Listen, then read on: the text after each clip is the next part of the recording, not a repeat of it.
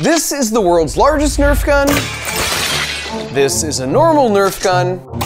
And for the past year, I've been making good use of my time by working on this, the world's smallest Nerf gun where you can actually cock it back and fire a dart. And while this is now the current world's smallest Nerf gun, our goal for today is to break that record not once, not twice, but three times, shrinking it by a factor of 10 each time we move down. And if my math's correct, that means by the time we get here, you'll be able to fit five of them across the width of a single human hair. But before we can start breaking all these records, we need to talk about the first major problem we encountered just to get here. And it relates to the fundamental way a Nerf gun works. Because when you pull the gray cocking mechanism back, it brings this spring-loaded piston with it all the way back until it hooks in with this catch mechanism. Now we're loaded and ready to fire. So now when you pull the spring-loaded trigger back, it forces the catch mechanism back down, releasing the piston plunger, which quickly springs forward, forcing all the air in the chamber out. And since the lightweight foam dart just happens to be in the way, it goes along for the ride. And if you actually take one apart, you'll find it's made from 87 parts, 13 springs, and 6 hinges. And so the first problem you faced if you're trying to shrink that down to human hair scale is it would be impossible to assemble those tiny mechanical springs and hinges, which left us with the incredible challenge of trying to make our entire tiny functional Nerf gun out of only one single part with no springs. And as it turns out, there's only one place in the world that leads the research in creating really tiny bendable machines from a single part, and it also just happens to be where I got my undergrad degree in mechanical engineering, which meant it was time for me to head back to my alma mater BYU to visit some old friends, starting with one of my favorite professors, Dr. Howell. Hey. Good to see you, Dr. Howell. I'm trying to remember what grade I got in your class. I looked it up this morning. I'm guessing an A minus. Oh, man, that's right. Well, if I disclose that, that's a, uh, a, A viola- a violation of federal privacy. For what it's worth, he teaches much better than he poker faces. And who would have known that this bright, energetic student sitting in this class was going to become one of the most famous engineers in the world? Not me. I'll tell you that much. Not me. And I say that with confidence because he was also able to locate my student ID. And the only thing more aggressive than those eyebrows was the decision to rock the double puka shell necklace for picture day. Our first stop was to finally meet in person with a group of BYU students I'd been working pretty closely with on this project for about a year. So today was all about a final meetup to see if this was a mission accomplished situation for us. And Jacob, who led the student team, summarized the second major issue we faced here. The physics of scaling down is huge here. Friction and surface forces are multiplied exponentially. Besides the difficulty of assembly I mentioned before, this was the second reason we needed it to be made out of one part, to eliminate the exponential friction forces between moving parts at tiny scales. Our plan was to come up with a template design that was full size, and if that worked, we would just keep scaling that exact shape down. But what should that look like? For example, how do you even store energy to fire a dart with no mechanical springs? Well, here was the first prototype, and while it's still more than one part, you can see the clever way the springs were replaced with the few new parts that stored energy by being flexible.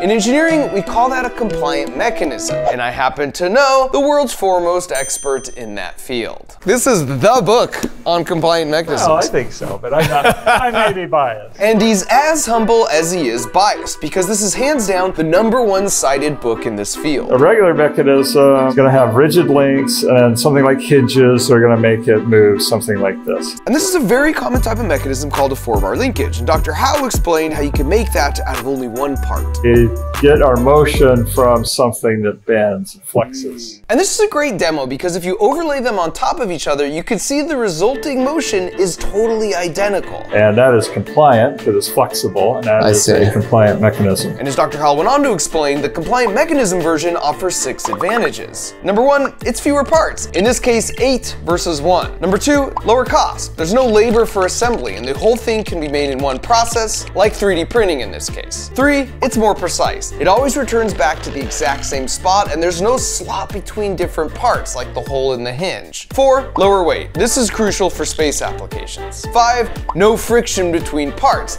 That means no wear between moving parts and no need for lubrication. And finally, number 6, you got built-in springs. Every material has built-in springiness, so the shape we choose can cleverly take advantage of that. He then proceeded to show me some other mind-bending examples of compliant mechanisms, like this single part light switch, or this single piece of metal bending in ways it feels metal shouldn't be allowed to bend, or this single sheet of plastic cut in such a way where it's really flexible in one direction, but really stiff and unbendable in the other. They've commercialized some compliant mechanisms like this one-piece windshield wiper for surgical cameras, so doctors can use one hand and clean the lens like this, instead of constantly pulling it out and doing this. And they've even done some work for NASA, where you can get a thruster to point in any direction using a single titanium structure that bends and just two motor inputs. And so back to our Nerf gun, after many, many more prototypes, investigating countless different ways to store the energy, we landed at three final candidate designs, all of which achieved our primary design objective. There's no assembly, it's just all printed as one part. The first design was a zigzag and looked really cool, but the flexures didn't store that much energy per deflection because they're just in bending.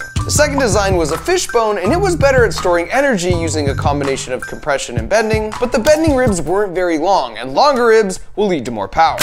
And so for the third and final design, Jacob accommodated longer ribs by offsetting the backbone, so to speak. And this ended up being the most optimal design. And if we swap out the plastic with a metallic alloy, it could store more energy per the same deflection, which means it can fire a dart even more powerful than an ordinary pneumatic Nerf gun. Plus, it sounds really cool.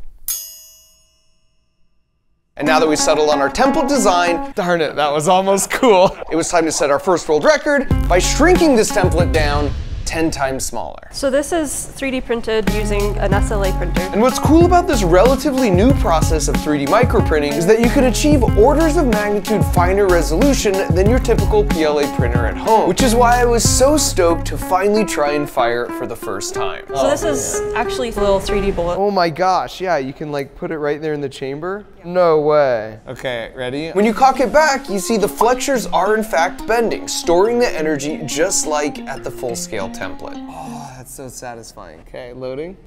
Yes. Okay, here you go. That was amazing.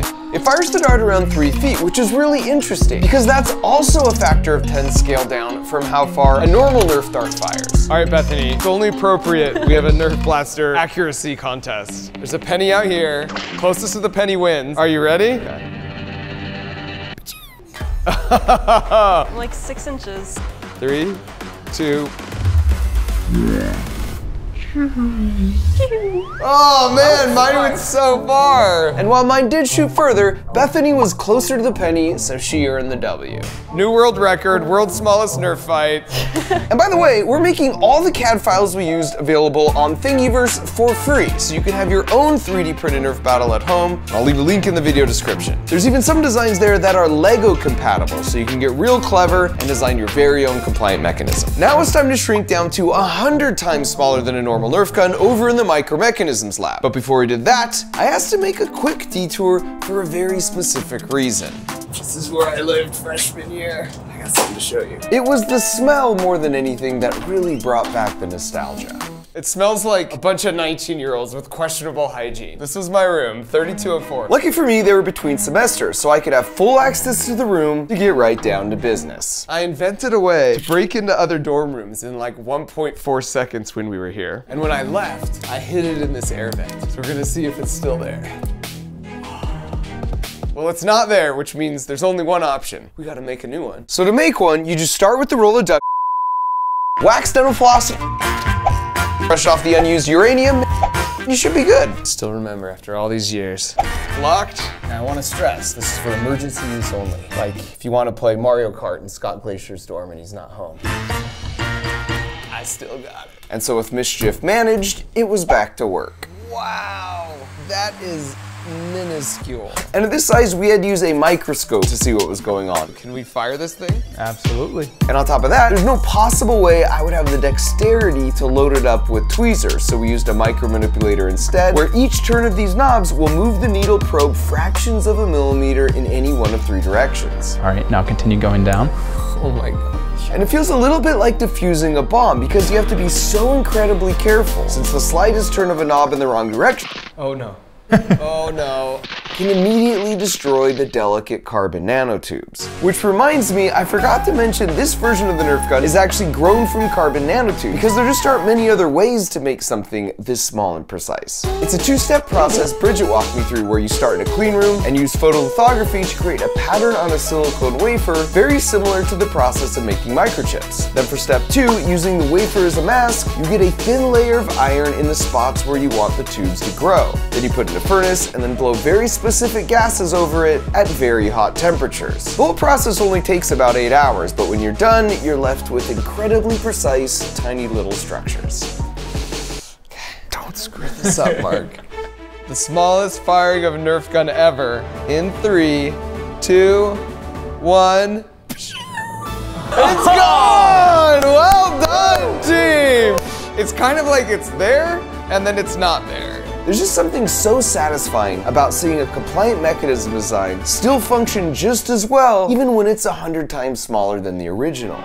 With that out of the way, all that was left was to challenge an ant to a Nerf battle. This is actually like a perfect scale for an ant. And I actually tried to start some beef here by firing a dart his way, but he was seemingly unintimidated. Hey, get back here.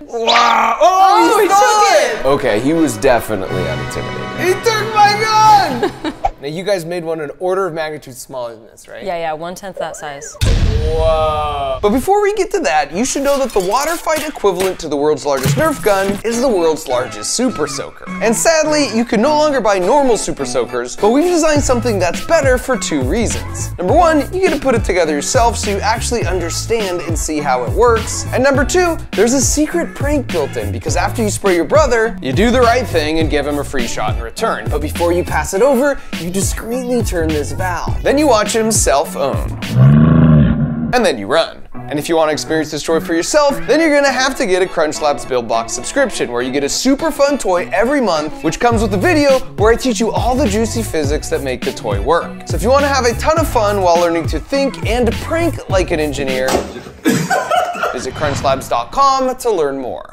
Back to breaking world records, it was once again time to shrink down by a factor of 10, which makes this spec right here 1,000 times smaller than a normal Nerf gun. Whoa. And so in order to truly appreciate the proper scale here, I had to make a sacrifice. Got one.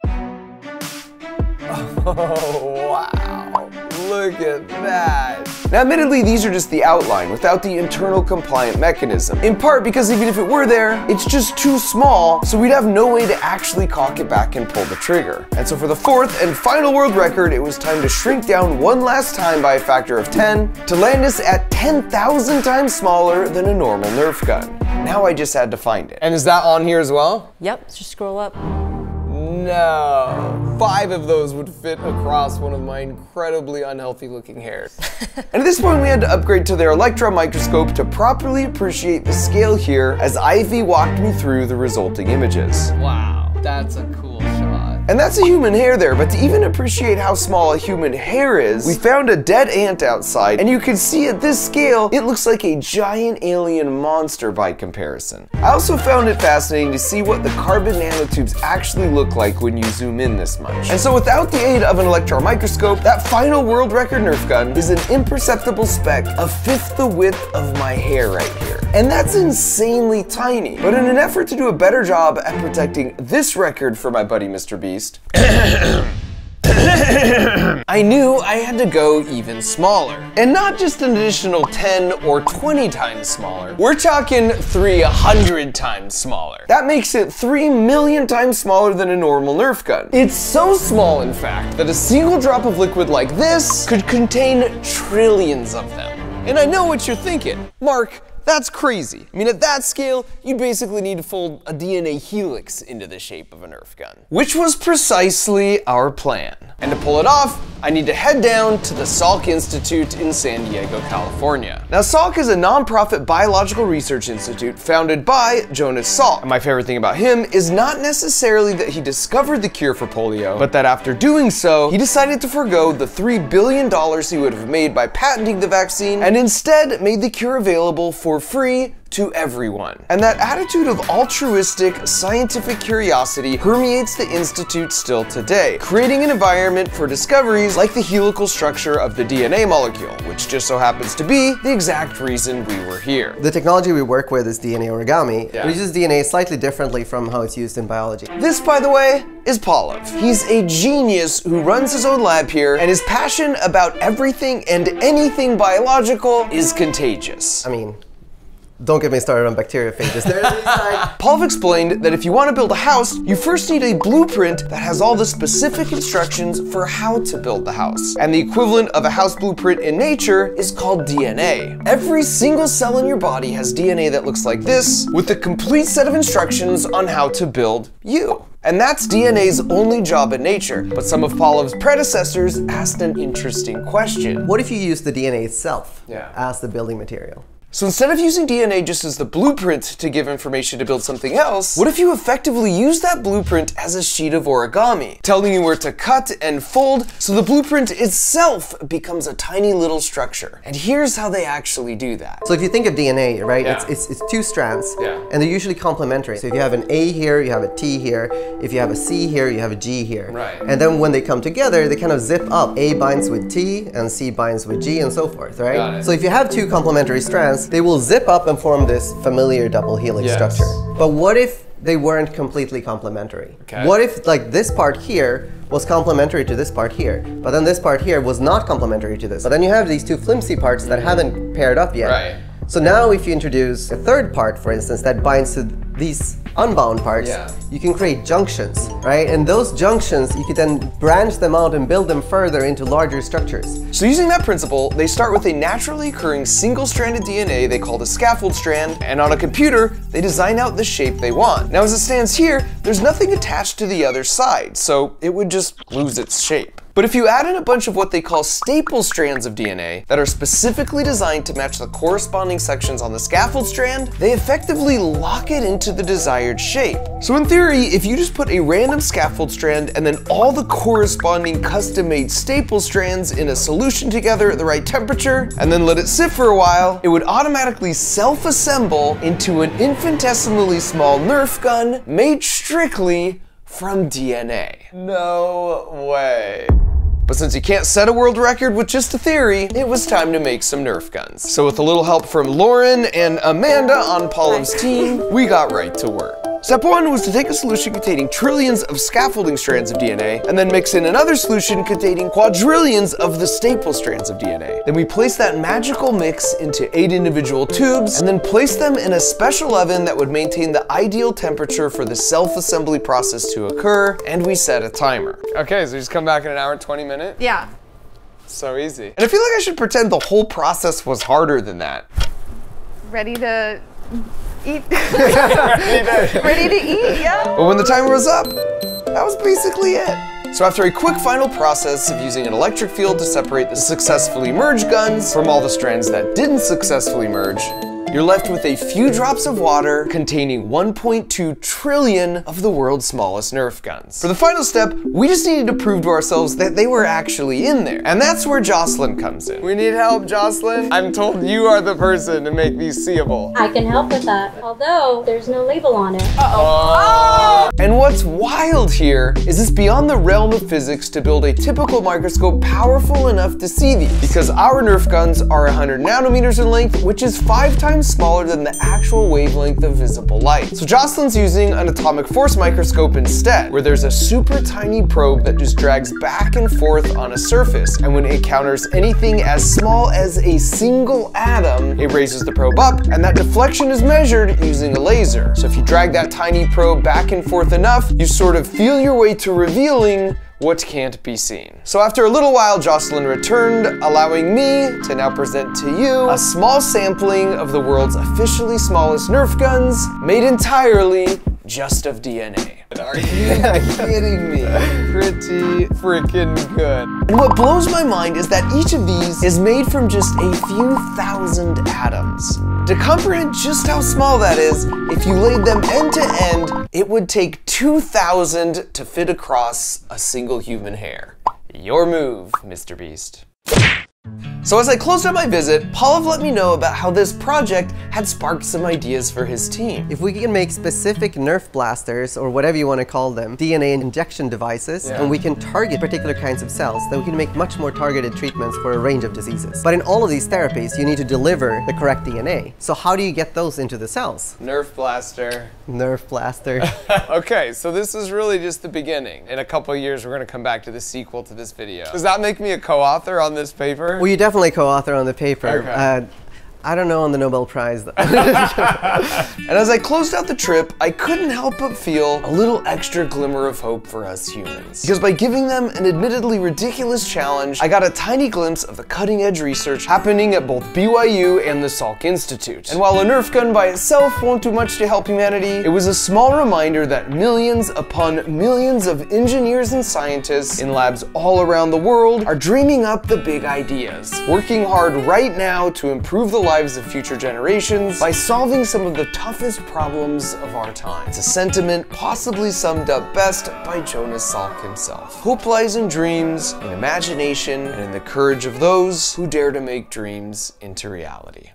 What I love most about people like Jonas Salk and Pallav is the creative confidence they exude as they approach the tough problems. It's an attitude that can be learned, and it's why the goal of every CrunchLabs build box is to help you think like an engineer. But the learning doesn't feel like learning because every month you're having tons of fun with a really cool toy that you put together yourself, where you learn all the physics behind what's going on while building your creative confidence along the way. It worked! And since the holidays are coming up, there's nothing more fun to put on your list, nor is there a better gift to give than an investment in the future of the favorite young person in your life as you watch their confidence and resilience grow.